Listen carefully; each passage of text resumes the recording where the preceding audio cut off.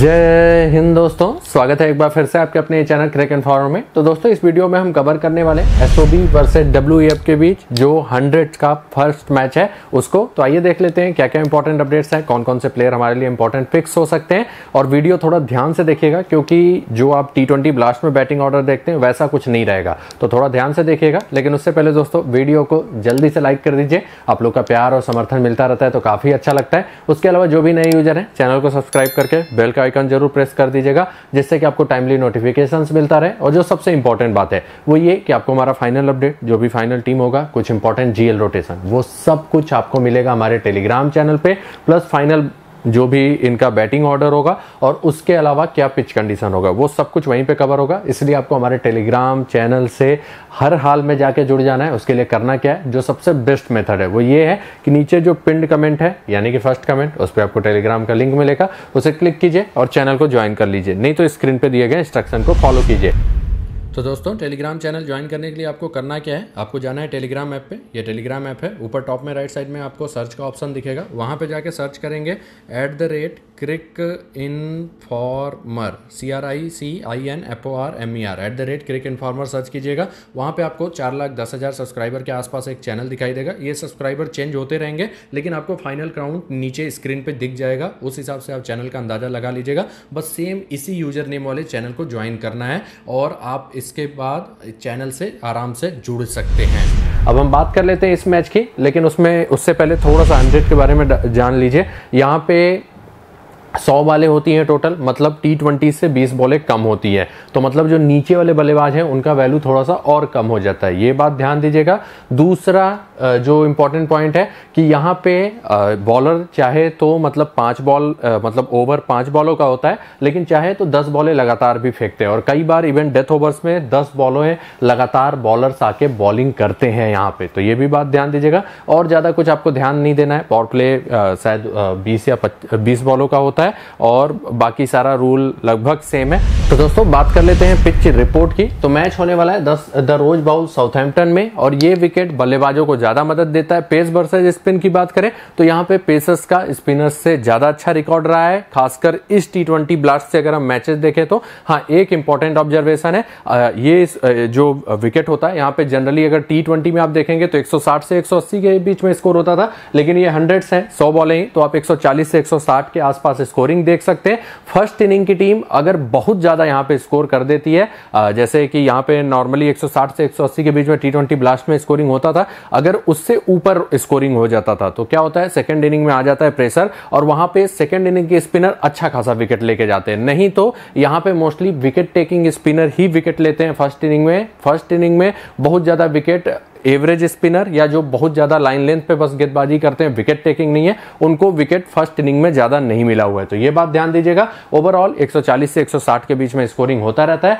Last के चार matches आप देखें तो आप यहाँ पे देख सकते हैं साउथ अफ्रीका ने पिछले मैच में 191 किया था तो इंग्लैंड 101 पे ऑल आउट हो गई स्पिनर्स को नौ विकेट मिला और उसमें मोस्टली ये नहीं था कि टर्न के कारण मिल रहा है, वही प्रेशर के कारण विकेट मिला था। बल्लेबाज अंधाधुन हिट करने जा रहे थे और विकेट फेंक रहे थे। नहीं तो पेसर्स ही स्पिनर्स से ज़्यादा यहाँ पर डोमिनेट करते हैं। तो ये बात ध्यान दीजिएगा, ये लास्ट चार मैचेज आपको स्क्रीन पे दिखाई दे रहे हैं। अब चलते हैं हम हेड टू हेड रिकॉर्ड पे। तो यहाँ पे अगर आप देखेंगे तो एसओबी की टीम और डब्ल्यू की टीम के बीच दो मैचेज हुए हैं, जिसमें एसओबी ने एक जीता है डब्ल्यू ने एक जीता है। लेकिन अगर आप मुझसे पूछेंगे कौन फेवरेट्स है तो फेवरेट्स है एसओबी की टीम उसका रीजन ये है डब्ल्यू की टीम का परफॉर्मेंस लास्ट सीज़न भी बढ़िया नहीं था और इस सीज़न भी उनके पास भरोसेमंद बल्लेबाज नहीं है और इनका बॉलिंग अटैक फॉर्म में है प्लस बल्लेबाज भी अच्छे हैं। तो एसओबी की टीम को मेरे हिसाब से अगर कुछ अनएक्सपेक्टेड ना हो तो फेवरेट्स होना चाहिए। आगे बढ़ते हैं, बात करते हैं एसओबी टीम के प्रिव्यू की। तो ये करंट चैंपियंस हैं। सबसे पहले ये जान लीजिए मतलब टीम काफ़ी अच्छी रही होगी और अपने कोर को इस सीज़न भी मेंटेन किया है। तो दोस्तों, बात कर लेते हैं कौन कौन से प्लेयर अनअवेलेबल हैं इस टीम में। तो देखिए क्वेंटन डिकॉक नहीं है फिनेलन नहीं है और पॉल स्टर्लिंग ये तीन नहीं रहेंगे। पॉल स्टर्लिंग वैसे शुरुआत के मैचेज के लिए है भी नहीं। वो क्वेंटन डिकॉक का एज ए रिप्लेसमेंट आने वाले थे। तो ये तीन प्लेयर नहीं खेलने वाले। फिनेलन को कल न्यूजीलैंड वाला मैच खेलना है और क्वेंटन ब्रेंटन डिकॉक अभी साउथ अफ्रीका से खेल रहे हैं। आगे बढ़ते हैं, बात कर लेते हैं इनके प्रोबेबल इलेवन की एक्सपेक्टेड बैटिंग ऑर्डर में। तो इनका जो प्रोबेबल इलेवन होना चाहिए एक्सपेक्टेड बैटिंग ऑर्डर में, वो आपको स्क्रीन पर दिखाई दे रहा है। यहाँ पे मैं एलेक्स डेविस से ओपन ओपनिंग एक्सपेक्ट कर रहा हूँ। हालाँकि मार्कस स्टोनिस भी ओपन कर सकते हैं। दूसरा टीम डेविड को मैंने नंबर पाँच पे दिखाया है, लेकिन वो कभी भी वेदरले के ऊपर आ सकते हैं। तो नंबर चार और नंबर पाँच में चेंज हो सकता है बैटिंग ऑर्डर ये भी बात ध्यान दीजिएगा।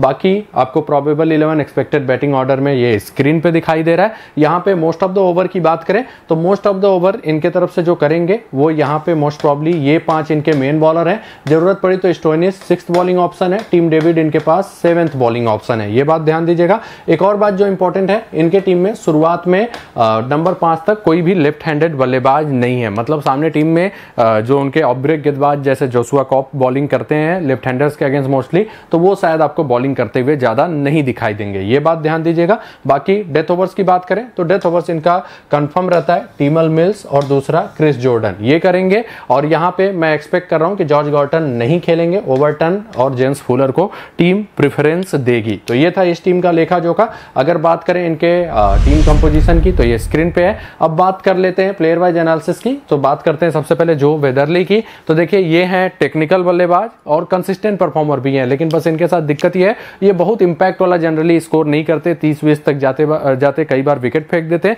दूसरा जो इंपॉर्टेंट पॉइंट है, कभी भी इनके ऊपर टीम डेविड का प्रमोशन हो सकता है। इसीलिए स्मॉल लीग में उतने अच्छे पिक नहीं होंगे। हाँ एक आग जीएल में ट्राई करना हो तो कर लीजिएगा। अभी के टी ब्लास्ट में सत्ताईस का एवरेज था और बहुत ज़्यादा इंपैक्ट वाले प्लेयर नहीं है तो ये बात ध्यान दीजिएगा। फिर आते हैं जेम्स मिन्स बहुत ही बेहतरीन बल्लेबाज टेक्निकल बल्लेबाज कंसिस्टेंट परफॉर्मर और बेहतरीन फॉर्म में रहते हैं। अभी इस सीज़न जो टी ट्वेंटी ब्लास्ट हुए, उसमें 49 का इनका एवरेज रहा था। लास्ट सीज़न भी ऑलमोस्ट 30 के आसपास एवरेज है। हेड टू हेड भी बेहतरीन है। बहुत ही शानदार प्लेयर इवन कैप्टनसी के भी सबसे सेफ़ ऑप्शंस में से एक रहेंगे। फिर आते हैं एलेक्स डेविस जो कि टेक्निकल बल्लेबाज माने जाते हैं। इवन कंसिस्टेंट परफॉर्मर भी माने जाते हैं। लेकिन फॉर्म इस समय बहुत ही खराब चला। अभी अगर इनका आप टी ट्वेंटी ब्लास्ट का रिकॉर्ड देखेंगे तो सत्रह के आसपास एवरेज है। सिक्सटीन पॉइंट समथिंग कुछ खास उतना नहीं कर पाए। आउट ऑफ़ फॉर्म चल रहे हैं। लास्ट के कुछ मैचेस देखिए, उसमें भी बड़ा स्कोर नहीं है। इसीलिए उतने अच्छे पिक नहीं होंगे। हाँ जीएल में ज़रूर ट्राई कर लीजिएगा। आप अगर वही लास्ट सीज़न का परफॉर्मेंस देखें तो ऑलमोस्ट उनतीस का एवरेज है। वेन्यू पे रिकॉर्ड भी बेहतरीन है हेड टू हेड भी अच्छा है, लेकिन दिक्कत ये फॉर्म अच्छा नहीं चल रहा इसलिए जीएल में इनको ट्राई कर लीजिएगा,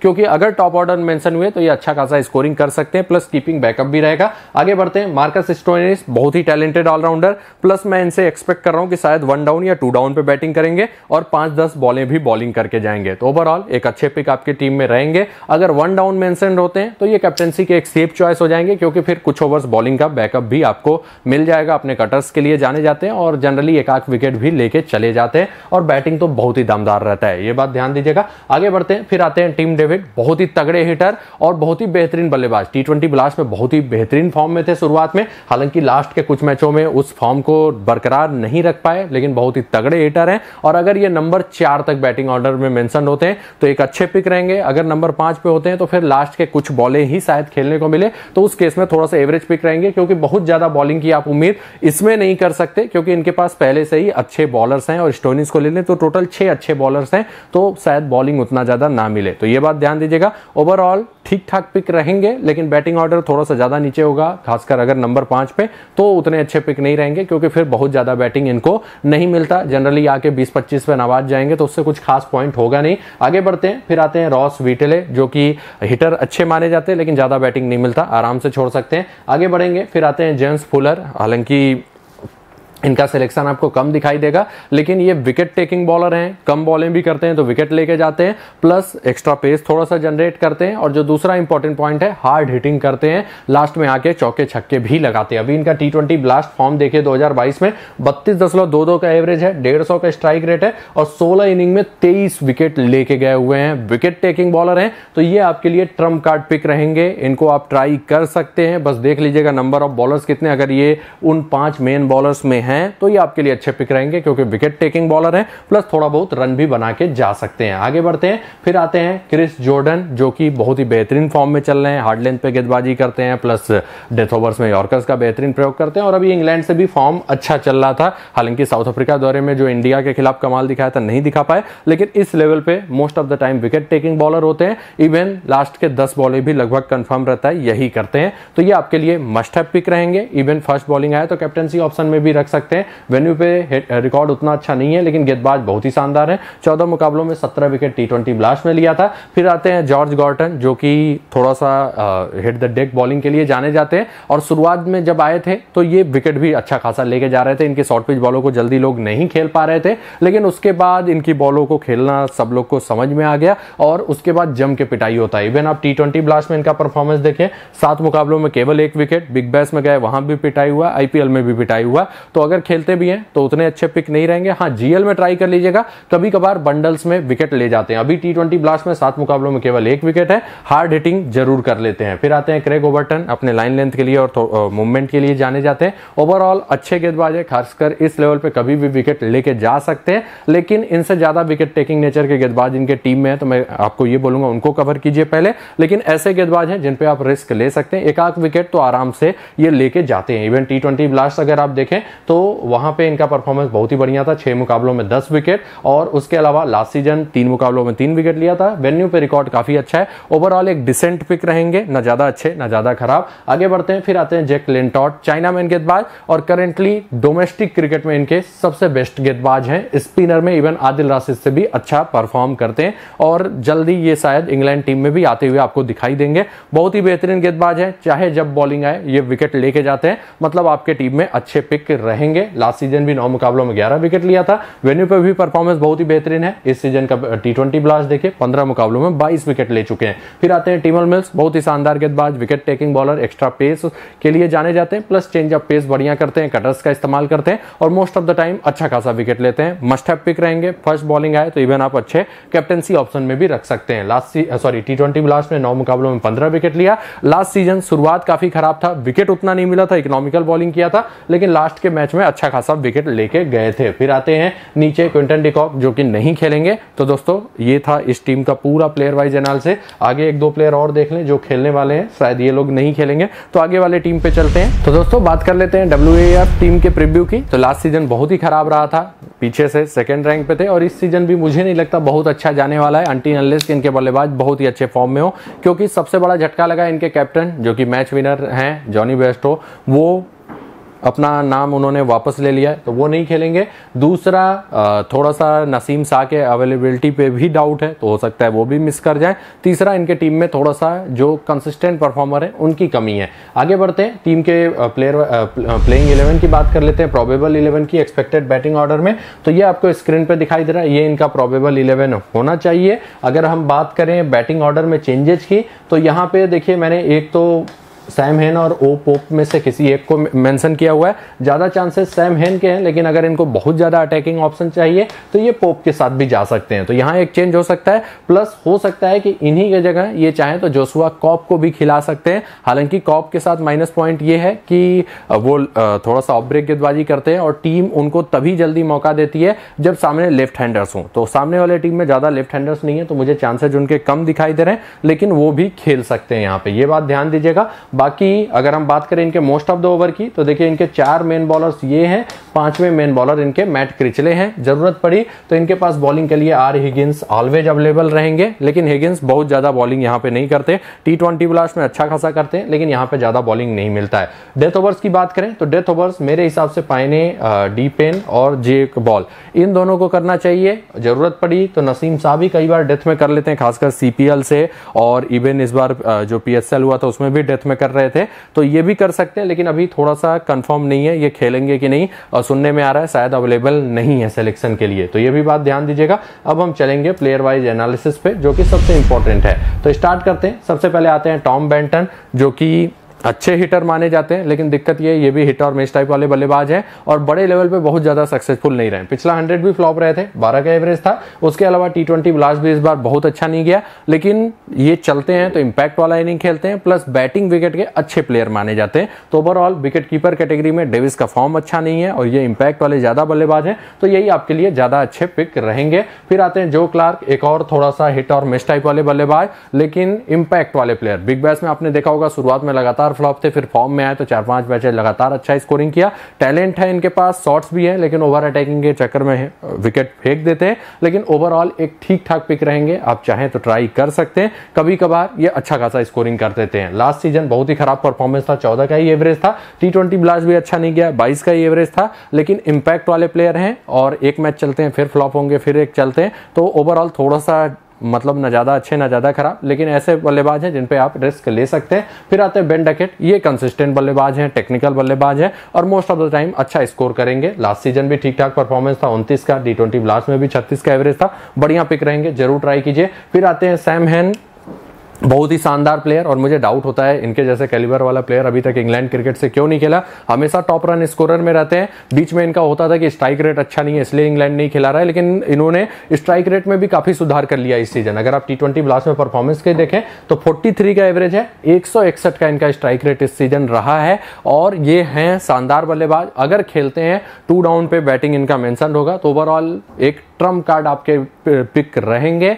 कंसिस्टेंट परफॉर्मर है सबसे बड़ी बात और अच्छे फॉर्म में रहते हैं जनरली इनको हालाँकि बड़े लेवल पे ज़्यादा मौका टीमें देती नहीं है। थोड़ा सा इनका पहले स्ट्राइक रेट गड़बड़ था लेकिन अब स्ट्राइक रेट भी बढ़िया हो गया। तो ये आपके लिए एक ट्रंप कार्ड पिक रहेंगे। टेक्निकल बल्लेबाज है और नंबर चार तक मेंशन होते हैं तो एक अच्छे पिक आपके लिए रहेंगे। आगे बढ़ते हैं फिर आते हैं ओली पोप बड़े लेवल पे अभी इन्होंने ज़्यादा खेला नहीं है। आ, मतलब कि हंड्रेड लेवल पे लेकिन टी ब्लास्ट में जनरली इनका परफॉर्मेंस अच्छा रहता है। आप देखेंगे टी ट्वेंटी डी रिकॉर्ड तो बत्तीस दशमलव छह का एवरेज है और इवन इस सीज़न के टी ट्वेंटी ब्लास्ट में तीन मैचेस खेले, पचपन के एवरेज से स्कोरिंग किया था और डोमेस्टिक स्तर पर ठीक ठाक बल्लेबाजी कर लेते हैं, इसलिए जीएल में इनको ज़रूर ट्राई कर लीजिएगा। अभी बड़े लेवल पे देखिए टी ट्वेंटी में कैसा परफॉर्म रहते हैं स्मॉल लीग में बहुत अच्छे पिक नहीं होंगे। फिर आते हैं एल डुप्लॉय बहुत ही शानदार बल्लेबाज कंसिस्टेंटली परफॉर्म करते हैं, बस इनके साथ माइनस पॉइंट ये है कि इनका बैटिंग ऑर्डर ही थोड़ा सा नीचे हो जाता है, इसीलिए स्मॉल लीग में उतने अच्छे पिक नहीं होंगे। जीएल में एक टीम में ट्राई कर सकते हैं। टी ट्वेंटी ब्लास्ट में देखिए चौतीस का एवरेज है लास्ट सीज़न भी चौबीस दशमलव पाँच के एवरेज से स्कोरिंग किया था। तगड़े हिटर है, लेकिन थोड़ा सा बैटिंग ऑर्डर नीचे है। फिर आते हैं मैट क्रिचले ये आपके लिए ठीक ठाक पिक होंगे। एक तो अच्छे हिटर हैं प्लस बैटिंग से फॉर्म बढ़िया चल रहा है, और गेंदबाजी भी लगभग अच्छा खासा करते हैं। बीस बॉलें हो सकता है ना करें, लेकिन पंद्रह बॉलें तो आप मान के चलिए करके जाएँगे। और जो इंपॉर्टेंट पॉइंट है, इनके टीम में ऊपर के बल्लेबाज थोड़ा सा शुरुआत के दो जो है हिट और मिस टाइप वाले बल्लेबाज हैं तो हो सकता है बैटिंग भी आ जाए। विकेट टेकिंग उतने नहीं है, लेकिन एक आख wicket most of the matches में लेके जाते हैं। इस सीज़न टी ट्वेंटी ब्लास्ट में इकतीस के एवरेज से स्कोरिंग किया, दस मुकाबलों में पंद्रह विकेट भी लिया और लास्ट सीज़न हंड्रेड में सोलह दशमलव पाँच का एवरेज था और पाँच मुकाबलों में चार विकेट लिया था। तो ये आपके लिए एक ट्रंप कार्ड पिक हो सकते हैं। फिर आते हैं रेयान हिगिंस बहुत ही तगड़े हिटर प्लस गेंदबाजी भी ठीक ठाक कर लेते हैं, लेकिन न ज़्यादा यहाँ पे बैटिंग आती है, न ज़्यादा बॉलिंग इसीलिए उतने अच्छे पिक नहीं रहेंगे। फिर आते हैं Adam Zampa wicket taking bowler ये कभी भी किसी भी इनिंग में अच्छे पिक रहेंगे। Most of the time wicket लेने के चांसेस इनके ठीक ठाक रहते हैं। आपके लिए एक बढ़िया पिक रहेंगे। विकेट टेकिंग बॉलर है। आगे बढ़ते हैं, फिर आते हैं जेक बॉल, अगेन एक विकेट टेकिंग बॉलर कटर्स पे ज़्यादा कंट्रोल रहता है, पिटाई होता है, लेकिन विकेट लेके जाते हैं। तो ये आपके लिए अगर फ़र्स्ट इनिंग में बॉलिंग आती है तो बहुत ही बेहतरीन पिक होंगे, क्योंकि वहाँ में डेथ में लगभग कंफर्म है बॉलिंग करना, और वहाँ पे विकेट लेने के चांसेस रहते हैं। सेकंड इनिंग में हो सकता है उनकी टीम उतना ज़्यादा प्रेशर ना बनाए तो उतना विकेट ना मिले, लेकिन फ़र्स्ट इनिंग में ज़रूर ट्राई कर लीजिएगा, वहाँ पर विकेट लेने के चांसेस रहेंगे। लास्ट सीज़न तीन मुकाबलों में दो ही विकेट मिला था, लेकिन इस सीज़न टी ट्वेंटी ब्लास्ट में आठ मुकाबलों में अट्ठारह विकेट लिया। उसके अलावा भी इनका परफॉर्मेंस जनरली ठीक ठाक रहता है, पिटाई होती है, लेकिन विकेट लेते हैं। फिर आते हैं डी पेन बहुत ही तगड़े गेंदबाज, शुरुआती ओवर्स में मूवमेंट हासिल करते हैं चेंज ऑफ़ पेस भी बढ़िया करते हैं और डेथ ओवर्स स्पेशलिस्ट भी माने जाते हैं। विकेट टेकिंग बॉलर ये भी हैं इंग्लैंड टीम से भी अभी खेल रहे थे। ओवरऑल एक बढ़िया पिक रहेंगे, खासकर फ़र्स्ट बॉलिंग आए, तब तो ज़रूर ट्राई कीजिएगा। इस सीज़न सात सॉरी लास्ट सीज़न सात मुकाबलों में छह विकेट मिला था। टी ट्वेंटी ब्लास्ट में नौ मुकाबलों में अट्ठारह विकेट लिया और विकेट टेकिंग बॉलर है, ये बात ध्यान दीजिएगा। फिर आते हैं नसीम शाह ये उतने विकेट टेकिंग नहीं माने जाते अपने एक्स्ट्रा पेस और शॉर्ट पिच डिलीवरीज के लिए ज़्यादा जाने जाते हैं, लेकिन बीच में सीपीएल खेलने गए तो वहाँ पे इन्होंने ड्वेन ब्रेवो से कटर्स पे मतलब कि थोड़ा सा कटर्स पे इनका कंट्रोल आ गया और फिर ये विकेट लेने लगे। सीपीएल में भी अच्छा खासा विकेट ले रहे थे, उसके बाद पीएसएल में भी ठीक ठाक परफॉर्मेंस था। ओवरऑल अगर खेलते हैं तो इनको आप जीएल में ज़रूर ट्राई कर लीजिएगा। मैं अभी श्योर नहीं हूँ, यहाँ पर टीम इनको डेथ में बॉलिंग देगी कि नहीं, क्योंकि इनके पास डी पेन और उसके अलावा जेक बॉल पहले से ही है, लेकिन अगर डेथ में बॉलिंग कर गए तो विकेट मिलने के इनके चांसेस बढ़ जाएँगे, लाइन लेंथ अब इनका बढ़िया हो गया। तो ये जीएल में आपके लिए ट्रंप कार्ड पिक रहेंगे, जो रिस्क लेना चाहें फ़र्स्ट बॉलिंग के केस में स्मॉल लीग में भी रिस्क ले सकते हैं। अगर गलती से डेथ में बॉलिंग मिल गया तो तो अच्छा खासा विकेट लेके जा सकते हैं, ये बात ध्यान दीजिएगा। नीचे फिर आते हैं जी स्क्रीम सॉ जो कि काफ़ी शानदार फॉर्म में दिखाई दिए थे इस टी ट्वेंटी ब्लास्ट में, लेकिन मैं आपको ये सजेस्ट करूँगा लाइन लेंथ इनकी बहुत ही अच्छी रहती है। मैं आपको ये सजेस्ट करूँगा, अभी थोड़ा सा बड़े लेवल पर परफॉर्मेंस देख लीजिए। खेलते हैं तो कितना ओवर्स मिलता है और कैसा इनका परफॉर्मेंस रहता है मोस्टली मिडिल ओवर्स में ही गेंदबाजी करेंगे। तो बड़े लेवल पर परफॉर्मेंस देख लीजिए, उसके बाद ट्राई करेंगे तो ज़्यादा बढ़िया रहेगा। इस सीज़न परफॉर्मेंस बहुत ही अच्छा था टी ट्वेंटी ब्लास्ट में पंद्रह मुकाबलों में तेईस विकेट लेके गए हैं। फिर आते हैं जोसुआ कॉप जो कि अच्छे ऑलराउंडर हैं, लेकिन सामने लेफ़्ट हैंडर्स नहीं है ज़्यादा तो मुझे नहीं लगता बॉलिंग करने वाले हैं। और बैटिंग में जब ये एज ए बैटर खेलते हैं तो इनका थोड़ा सा हंड्रेड में बैटिंग ऑर्डर भी नीचे रहता है। लास्ट सीज़न या तो पाँचवें नंबर पे आ रहे थे, या तो चौथे नंबर पे आ रहे थे तो बहुत ज़्यादा शायद बैटिंग भी ना है तो उतने अच्छे पिक नहीं रहेंगे, क्योंकि बॉलिंग करने के ज़्यादा चांसेस नहीं है, ये बात ध्यान दीजिएगा। जीएल में एक आध टीम में ट्राई कर सकते हैं। तो दोस्तों, ये था पूरा प्लेयर वाइज एनालिसिस जिसके हिसाब से खुद की टीम बनाएँगे तो ज़्यादा बढ़िया रहेगा। मैंने कोशिश किया है सारे ही प्लेयर्स का कब कैसा रोल रहेगा और किस हिसाब से वो किस इनिंग में अच्छे पिक रहेंगे, वो बताने का। तो अब हम बात कर लेते हैं ड्रीम इलेवन टीम की। तो दोस्तों ड्रीम इलेवन टीम की बात कर लेते हैं। टीम आप खुद से बनाएँगे तो ज़्यादा बढ़िया रहेगा। देखिए एसओबी की टीम थोड़ा सा ज़्यादा फेवरेट रहेगी तो उस हिसाब से टीम बनाने की कोशिश कीजिएगा। स्टार्ट करते हैं। विकेट कीपर में बैंटन सबसे बेस्ट ऑप्शन है, डिकॉक बेस्ट अवेलेबल है नहीं, एलेक्स डेविस फॉर्म में नहीं है। बैटिंग सेक्शन में चलते हैं तो यहाँ पे जेम्स विंस और बेन डकेट, ये दोनों मस्ट पिक रहेंगे। टीम डेविड अगर नंबर चार तक है, तब तो बढ़िया पिक उसके नीचे रहेंगे तो थोड़ा सा एवरेज ऑप्शन हो जाते हैं। फिर भी अगर नंबर पाँच पे मेंशन है फ़र्स्ट बैटिंग है तो एक बार आप रिस्क ले सकते हैं, क्योंकि वहाँ बैटिंग होने के चांसेज रहेंगे। फिर मैंने जो क्लार्क पर भरोसा जाता है कंसिस्टेंट नहीं रहते लेकिन इंपैक्ट वाले प्लेयर हैं। तो इनके साथ मैं जा रहा हूँ, नीचे सैम हैन अगर खेलते हैं, और खासकर टॉप चार तक मैंसन होते हैं तो एक बढ़िया पिक रहेंगे। कंसिस्टेंट परफॉर्मर माने जाते हैं और काफ़ी टेक्निकल बल्लेबाज हैं। नीचे फिन एलन इनको लेना नहीं लेना, ये आपके ऊपर डिपेंड कंप्लीटली हिट और मिस टाइप वाले बल्लेबाज हैं। जब तक रहेंगे स्ट्रोक्स खेलते रहेंगे, लेकिन विकेट फेंकने के चांसेज रहते हैं। ओली प्रो उतने अच्छे पिक नहीं रहेंगे। लियोस डिप्लॉय का ज़्यादा बैटिंग उतना आता नहीं है। ऑलराउंडर्स में चलते हैं। Marcus Stoinis most probably top order में ही मैंसन होंगे। प्लस कुछ ओवर बॉलिंग मतलब बढ़िया पिक अच्छे कैप्टनसी ऑप्शन भी। जोसुआ कॉप जनरली नीचे ही मैंसन होते हैं बैटिंग ऑर्डर में। प्लस बॉलिंग करने के चांसेज कम है, इसीलिए उतने अच्छे पिक नहीं रहेंगे। जेम्स फुलर बेहतरीन फॉर्म में चल रहे थे, इसलिए मैं इनको कवर कर रहा हूँ। विकेट टेकिंग बॉलर है। मैट क्रिचले इनके टीम का बैटिंग थोड़ा सा कमज़ोर है तो मैं एक्सपेक्ट कर रहा हूँ बैटिंग भी आ जाएगा प्लस बॉलिंग तीन चार ओवर लगभग कंफर्म करेंगे। तो इनके साथ भी मैं जा रहा हूँ, नीचे और कोई इतना अच्छा ऑप्शन नहीं है। बॉलिंग सेक्शन में जंपा मस्ट पिक रहेंगे। विकेट टेकिंग बॉलर हैं। क्रिस जॉर्डन ये भी अच्छे गेंदबाज हैं, ये भी बढ़िया पिक रहेंगे। Jake Lintott wicket taking bowler हैं, इनको भी आपको कवर करना चाहिए। नीचे D Payne wicket taking bowler हैं, आप ट्राई कर सकते हैं। मैं जनरली फ़र्स्ट बॉलिंग आएगा तो इनको कवर करूँगा। नहीं तो फिर मैं इनको नहीं लूँगा, लेकिन गेंदबाज अच्छे हैं, आप ट्राई कर सकते हैं। जैक बॉल फ़र्स्ट बॉलिंग के केस में must have pick second bowling में थोड़ा सा average pick Tymal Mills wicket taking bowler हैं, बढ़िया पिक रहेंगे तो इनके साथ भी मैं जा रहा हूँ। नीचे और कोई उतना अच्छा ऑप्शन यहाँ पे नहीं है। तो दोस्तों, ये थी मेरी टीम कैप्टन मैंने जेम्स विंस को किया है स्टोनिस को वीसी लेकिन अगर स्टोनिस वन डाउन तक मैंसन होंगे तो फिर मैं इनके साथ कैप्टन जाऊँगा, क्योंकि ये कुछ ओवर बॉलिंग भी कर सकते हैं। तो आप इसका रिवर्स करना चाहें, कर सकते हैं। बेन डकेट भी ठीक ठाक कैप्टनसी ऑप्शन रहेंगे। फ़र्स्ट बॉलिंग के केस में जॉर्डन मिल्स इनको आप स्मॉल लीग में कैप्टन बना सकते हैं। सेम जीएल में अगर आपको कैप्टन रखना है तो जॉर्डन मिल्स को जीएल में भी आप कैप्टन कर लीजिएगा फ़र्स्ट बॉलिंग के केस में। और उधर के जो डेथ ओवर्स के बॉलर हैं, वो भी जीएल में अच्छे कैप्टनसी ऑप्शन होंगे। जैसे कि जैक बॉल और डी पेन उनको कैप्टन कम करेंगे, लेकिन वो कभी भी बंडल्स में विकेट लेके जा सकते हैं। तो दोस्तों, इसी के साथ वीडियो समाप्त होता है। आशा करता हूँ ये वीडियो आपको अच्छा खासा हेल्प करेगा विनिंग में। तो जिसने भी वीडियो को लाइक नहीं किया, जल्दी से लाइक कर दे। और जिसने भी चैनल को सब्सक्राइब नहीं किया है, ऐसे ढेर सारे अपडेट्स के लिए चैनल को सब्सक्राइब करके बेल का आइकॉन ज़रूर प्रेस कर दीजिएगा। धन्यवाद।